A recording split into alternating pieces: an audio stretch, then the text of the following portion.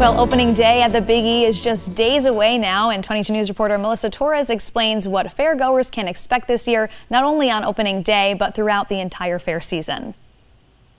The Big E is a fan favorite here in western Massachusetts, and final preparations are underway for opening day on Friday.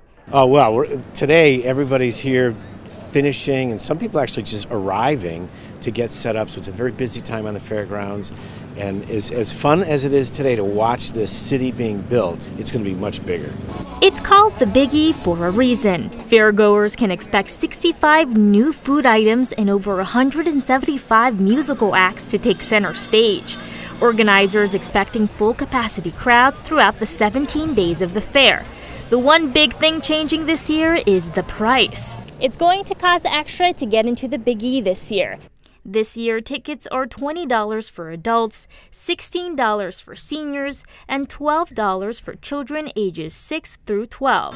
Kids under 5 are still free. The good news is there are quite a few ways to save. I suggest folks visit Rocky's Ace Hardware. They're the only outlet where you can buy a hard ticket for the fair. You can get a 20% discount on a ticket.